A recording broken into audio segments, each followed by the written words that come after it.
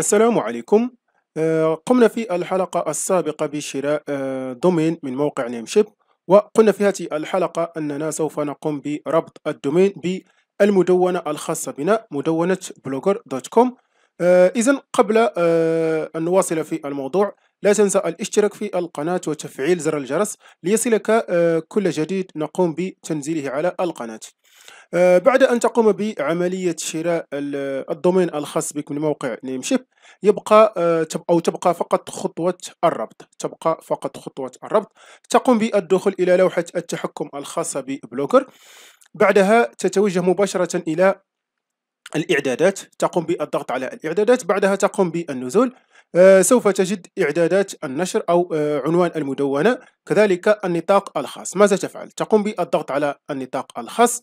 آه، بعدها مباشرة تتوجه إلى Namecheap. تقوم بنسخ الدومين الخاص بك. هذا هو الدومين الخاص بنا. تقوم بنسخه هكذا. copy وبعدها تعود إلى لوحة التحكم. تقوم أو تقوم بكتابة www. وبعدها تقوم بلصق الرابط الخاص بك هكذا. بعدها تقوم بالضغط على حفظ. سوف تظهر معك بعض الأكواد التي يجب عليك إدخالها في Namecheap. كما ترون هنا فقط قبل ذلك نعود إلى Namecheap. ماذا تفعل؟ عندما تقوم بالدخول إلى هذه الواجهة لديك طريقتين للربط. إما تقوم بالضغط في هذا المكان سوف تنبثق معك هذه النافذة. تقوم بالضغط على Advanced DNS تقوم بالضغط على هذا الخيار أو مباشرة تقوم بالضغط على manage يعني نفس الخيار. تقوم بالضغط على manage بعدها تختار Advanced DNS يعني نفس الخيار نفس الخيار. آه نقوم بالضغط عليها هكذا. ننتظر قليلا ريثما يتم التحميل. آه كما ترون بعد الدخول سوف تجد في الخانة الأولى هنا انظر سوف تجد CNAME record و URL redirect record آه سوف نقوم بحذفهم. يجب عليك حذف هذين الخيارين هكذا. يعني فأنت لا تحتاجهم فأنت لا تحتاجهم. سوف نقوم بحذفهم هكذا. ننتظر قليلا. ريثما يتم الحذف. نقوم بحذفهم مع بعض. تم حذف الأول وتم حذف الثاني. إذا بعدها نقوم بالضغط هنا. انظر add new record. تقوم بالضغط عليها. بعدها تقوم باختيار CNAME record هنا. تقوم باختيار CNAME record انظر هنا host و value host و value نتوجه مباشرة إلى هذه الخانة أو هذه النافذة التي ظهرت لنا. نقوم بنسخ www الاسم الأول هكذا. قم بنسخه عمل النسخ كوبي بعدها بعدها عد إلى هنا وقم بلصقه في الخانة الأولى. قم بلصقه في الخانة الأولى هكذا.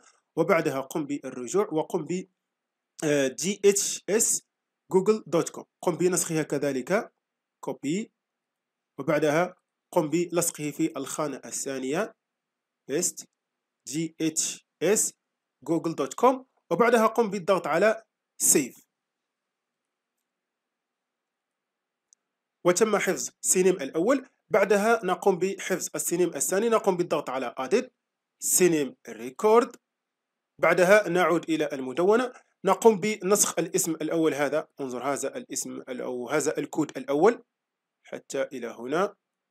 نقوم بعمل نسخ ونعود إلى DNS نقوم بلصقه في ال host. هنا paste أما بالنسبة إلى الكود الثاني انظر من أين يبدأ من هنا. هذا هو الكود الثاني. نقوم بنسخه copy بعدها قم بوضعه كذلك في آه، هنا target paste هنا اتركها كما هي وبعدها قم بالضغط على ال save وبهذه الطريقة تكون قد قمت بإضافة CNAME. بقيت خطوة واحدة وهي آه، إضافة سجلات الأربعة لإعادة التوجيه. أول شيء نعود إلى هنا بعدها نقوم بالتوجه إلى هذا الرابط أو الضغط في هذا المكان رابط الصفحة حتى نقوم بإضافة سجلات الأربعة لإعادة التوجيه حتى لا نقع في المشاكل فيما بعد. ننتظر ريثما تتم تحميل الصفحة. نعم هذه سجلات الأربعة التي يجب علينا إضافتها. كما نرى هنا أه سوف نقوم بإضافة أه سجلات الأربعة. أول شيء نقوم بنسخ هذا الأدريس. أول شيء. بعدها نعود إلى هنا. نفس الصفحة التي كنا فيها نقوم بإضافة edit new record. نقوم بالضغط عليه ونتركه في a record يعني a record. وهنا نقوم بكتابة أروباز وهنا نقوم بوضع الأدريس الأول ونقوم بالضغط على حفظ.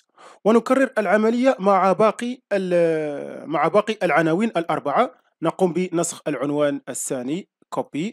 ونقوم بإضافة edit record A هنا نقوم بوضع أروباز وهنا نقوم بالضغط على paste. وبعدها نقوم بالضغط على save. ونقوم بالضغط على edit new record A نقوم بنسخ العنوان الثالث هكذا. المعزرة copy. نعود إلى هنا. ونقوم بإضافة أروباز ونقوم بلصقه. وبعدها نقوم بالضغط على حفظ. ونكرر نفس الشيء مع العنوان الأخير. آه. نقوم بنسخ العنوان الأخير. هذا هو. الفرق بين هذه هذه العناوين انظر 32 34 36 38 نعود إلى هنا. نقوم بإضافة نعم قمنا بإضافة المعزرة هذا هو آه هنا انظر. 32 34 38 والأخير آه 38 المعزرة نقوم بلصقه هكذا. وبعدها نقوم بالضغط على حفظ هكذا. وبعدها نعود إلى المدونة. يعني قمنا بإضافة سينيم إسنان سينيم الخاص بريكورد الخاص ببلوجر وسجلات الأربعة. نعود إلى المدونة الخاصة بنا وبعدها نقوم بالضغط على حفظ. بهذه الطريقة نكون قد قمنا بربط الدومين بالمدونة بقيت فقط بعض الخطوات التي يجب علينا عملها وهي نطاق إعادة التوجيه تفعيل هذه الخانة. وتفعيل خانة HTTPS نقوم بتفعيل هذه الخانة الأولى. سوف يتم تفعيل معها تلقائيا الخانة الثانية لحماية الموقع الخاص بنا. بعدها آه، سوف نقوم بعرض المدونة حتى نرى هل تم آه، كما نرى لم يتم ضبط الإعدادات بعد. سوف ننتظر قليلا. ريثما يتم معالجة الإعدادات وبعدها نرى هل يتم تحديث المدونة أو لا. إذا بعد مرور نصف ساعة تقريبا سوف نقوم بإعادة آه، تحديث الصفحة. يعني انتظرنا فقط آه، نصف ساعة. آه، ربما اشتغلت وربما لم تشتغل فقط ننتظر تم ضبط إعدادات المدونة وأصبح يشتغل الدومين بشكل عادي جدا. هذا هو كان موضوعنا لنهار اليوم كيفية ربط الدومين بالمدونة الخاصة بنا. نلتقي في موضوع آخر وفي فيديوهات أخرى. السلام عليكم.